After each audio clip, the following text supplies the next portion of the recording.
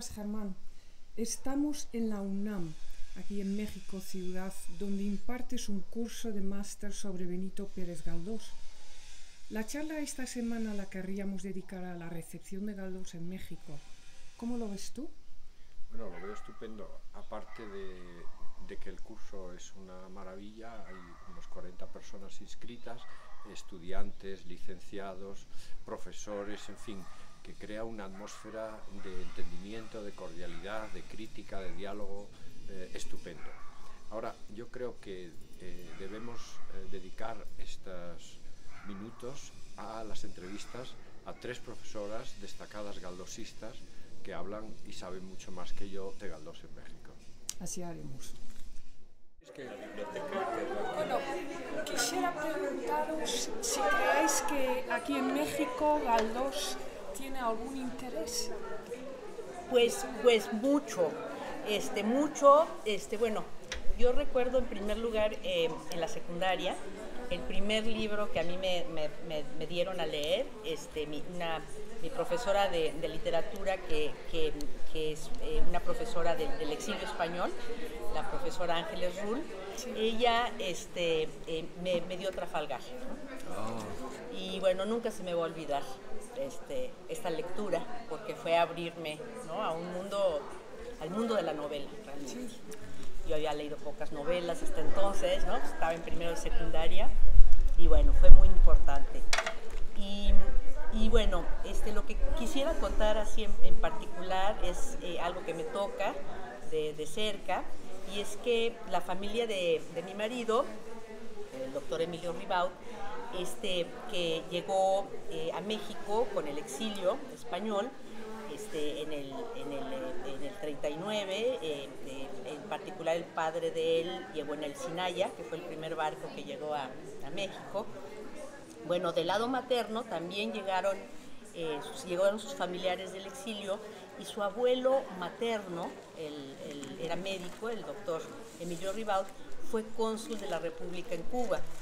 Y eh, ahora yo tengo eh, el, el, los libros del abuelo de mi marido, que era Ay, un gran lector de Galdós, ¿no? de manera que Galdós este, vino a México con el exilio español de una manera muy entrañable.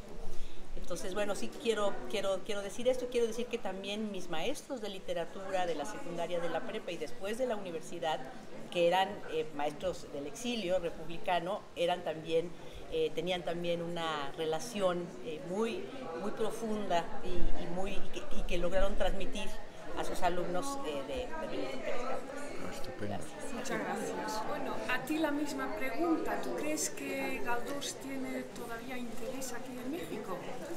Sí, yo pienso que sí. Este, desde la secundaria y la preparatoria se sugiere a Galdós, está dentro de los programas de estudio, incluso en la universidad. El semestre pasado di el curso de literatura española este, y se incluía Galdós y la novela que se incluía curiosamente era este, Marianela. Yo recuerdo que Marianela la leí en la secundaria. Sí. porque me la sugirieron, estaba dentro del programa y yo lloré con Marianela. Ahorita, pues bueno, ya este, se pueden proponer otras novelas que me encanta, como la Desheredada ¿no? o Tormento, pero esa es la novela que más se propone. Hice un ejercicio el semestre pasado y trabajé en Instagram sí. con Marianela. Entonces yo les dije a los estudiantes, a ver, este, lo que nos proponen es Marianela, vamos a leer Marianela y quiero que ustedes en Instagram suban todas las imágenes que para ustedes les recuerde a Marianela, el personaje, tanto el personaje femenino como el masculino. Qué proyecto, sí, qué bien, sí. Un, proyecto muy interesante. Todos empezaron a trabajar en ese proyecto y al final este, los comentarios fueron que les había gustado la novela y que este, todas esas imágenes que ellos le provocaron, pues la pusieron en Instagram y que les preguntaron también a sus familiares cuál era la novela que habían leído y pues fue Marianela. Hace dos semanas estuvimos, este, Alma Mejía y yo, en la Feria Internacional del Libro, y yo estaba hablando sobre la vigencia de Galdós en México, la trascendencia, la influencia en algunos escritores como Sergio Pitol, como Carlos Fuentes, como este, José Emilio Pacheco, Octavio Paz. Galdós sigue vigente porque Galdós aborda este, los temas humanos que son universales. Y yo digo, bueno, ¿por qué nos gusta Galdós en México? Porque precisamente esos temas también son tuyos. Esa España de esa época, ese amor, desamor, también este, lo vivimos nosotros muy de cerca. Entonces yo creo que Galdós es un escritor muy cercano a nosotros, muy entrañable y, este, y por eso nos gusta. Muchas gracias. Sus temas. Bueno, a ti también te quería preguntar sí. Si sigue el interés en Galdós aquí en México. Sí, pues eh, soy profesora de la Universidad Autónoma Metropolitana Iztapalapa y eh, tenemos allí la licenciatura en Letras Hispánicas y uno de los cursos que yo enseño es literatura española de los siglos XVIII y XIX. Y eh, pues un poco por mis intereses, pero también por el interés de los alumnos, Galdós siempre es el, el, escritor que más éxito tiene. ¿no? Y a partir de esos cursos eh, tenemos seminarios ya enfocados en, en, Galdós, a veces también en, en Emilia Pardo Bazán. Y continuamente, pues los alumnos de la licenciatura hacen tesis, o sea, sus trabajos terminales en, en este autor. A mí las novelas de mi predilección son las de 1881 a 1887, o sea, empezando la desheredad, terminando con de la segunda manera, de la segunda manera, y entonces casi siempre pues las tesis se enfocan en, en esos, eh, en esas novelas porque son las que yo más trabajo.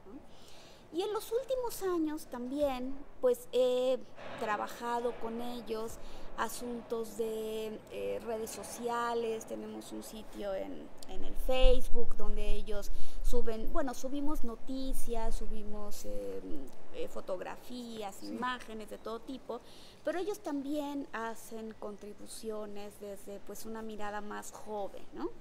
Y una de las cosas también que a mí me encanta de, Galdós y mi relación con los alumnos que son pues jóvenes entre los 18 y los 22 años, 22, 23 años, es como nos ponemos al día de estas, de estas visiones que Galdós tuvo sobre hacia dónde va la sociedad, ¿no? Hacia dónde van las relaciones entre hombres, mujeres, padres, hijos y también en digamos, los vicios que él identifica en esta sociedad naciente para él, que, eh, que, tenemos hasta hoy en día, ¿no?